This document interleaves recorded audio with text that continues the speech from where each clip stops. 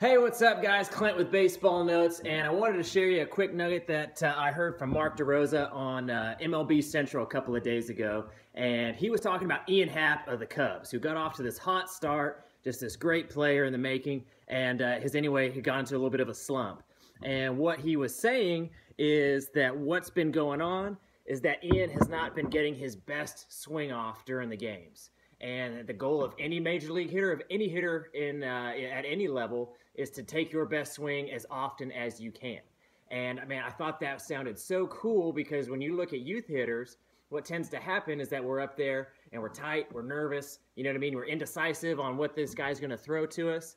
And then at the end of the day, we look back at the swings that we took, and none of them were our best swings, right? They were just swings that were tense and and tight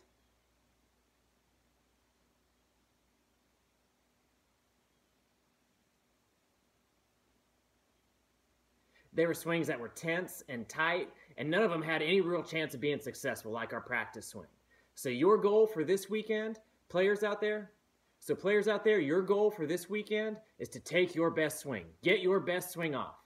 Now, whether that swing makes contact or whether it's early or late is none of your business. But when you get up into the batter's box, go ahead and get in your stance, get ready to compete, and get ready to take your best swing and let the results be the results. Anyway, just wanted to share that with you. If you have any questions, let me know. And let me know how it goes this weekend. I'll be thinking about you. All right, thanks a lot.